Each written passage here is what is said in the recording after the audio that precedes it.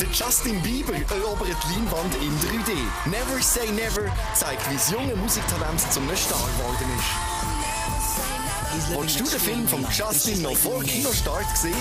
Dann gewinn jetzt Tickets für die Nickelodeon-Premiere am 16. März. Den Wettbewerb gibt's auf nick.ch.